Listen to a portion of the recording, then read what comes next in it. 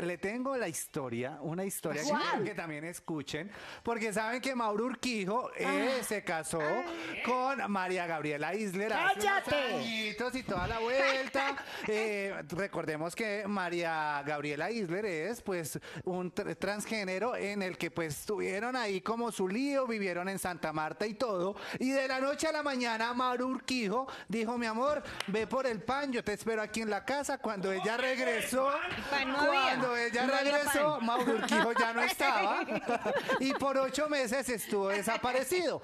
Pues la red los contactó, contactó a Mauro Urquijo y quiero que escuchen lo siguiente. ¿Dónde estaba Mauro? Sí, allá vive- vivíamos en una casa y sí, yo salí de. Ok. Cogió chiritos y chao, pa.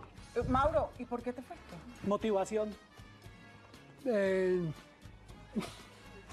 no sé, es que mira, eso ha sido un periodo de mi vida muy, muy difícil porque después de estar en contacto con, con cualquier cantidad de gente, con una cantidad de circunstancias y cosas, empezar a vivir épocas de tu vida en la que no te acuerdas de las cosas, en la que haces las cosas, actúas, pero Ojo con esto, porque Así los que estamos escuchando a Mauro sabemos que tiene como un problema de Sí, pronto al algo le hablar. pasa, sí. Eh, recordemos que hace Sí, como claro. unos tres años, dos años tuvo un problema de salud bastante delicado. En el cerebro, ¿no? Pues, En el cerebro y también en el corazón. Y esto como que también lo ha tenido un poco desorientado. Entonces la gente de- al escuchar esta entrevista, al verla en televisión nacional, dijo, Mauro no está bien. Y él se fue hasta Villavicencio a buscar a su familia, a buscar a su mamá. Y eh, María Gabriela Isler, su esposa, porque ellos se casaron, eh, empezó a decir, este man decía que ya no era gay, este man decía que ya no le gustaban pues las personas como yo, que solamente le gustaban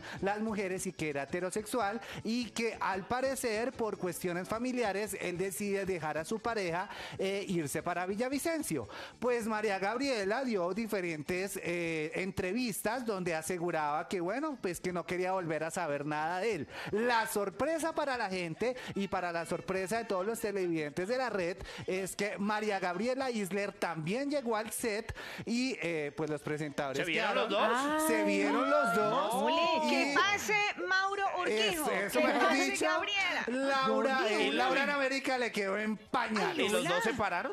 Los dos se pararon, sí, señor. Pirata. Pues le Hola. tengo En también set, un pedacito de la entrevista que le hicieron en el set a María Gabriela, porque al parecer como que la- el amor volvió a tocar No, las ¿en puertas de Mauro ¿Cómo Urquijo. Quiero que escuchemos. ¿Qué pasó? Estás trabajando con Caracol Televisión y empezamos como a hablar, empezamos como a retomar esa conversación y yo le, ahí fue donde yo exploté y boté todo y le dije, ¿por qué lo hiciste? Ok. ¿Por qué te fuiste de mi vida? ¿Por qué fuiste tan desagradecido si yo me porté tan bien Así contigo? Yo luché por ti, yo me sacrifiqué por ti, yo salí adelante por Enfrentó ti al mundo. y enfrentó al mundo también igual como tú lo hiciste, yo también lo hice. Sí. Entonces me pareció un acto de él tan desagradecido que yo no lo esperé. Pues imagínate, pues cuando lo vio, porque ella llegó a una discoteca, lo encontró y lo saludó, no sé qué, y empezó a decirle, lo- mejor dicho, hasta de que se iba a morir.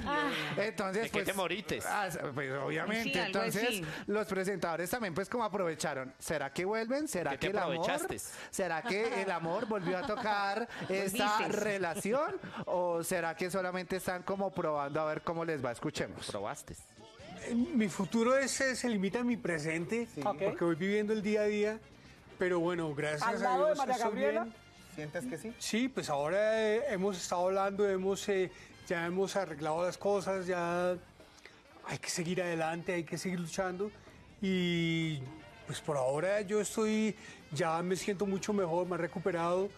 Eh, ya vamos a ver qué, qué me pongo a hacer porque yo trabajo desde los 14 años, me hace falta estar activo. Pues tuvo entonces ocho meses como para pensar las cosas, como para decir, venga, ¿será Oiga. que esta sí es la mujer de mi vida? Esta es la relación que yo quiero. Y bueno, pues ya después de que María Gabriela lo buscó, porque ella fue la que lo buscó, hablaron eh, y como tal también arreglaron las cosas, entonces al parecer como que hay un nuevo, como un nuevo camino, un, Un nuevo, nuevo renacer comienzo. para esta pareja. y bueno, pues la locura de amor, porque sabemos amor, que si hay una locura, pues vamos a ver cómo les va. Vea, por eso el dicho, procura que tus palabras sean dulces por si algún día tienes que tragártelas. Todo lo que se habló de Y esa creo que le tocó relación. tragárselas. Sí.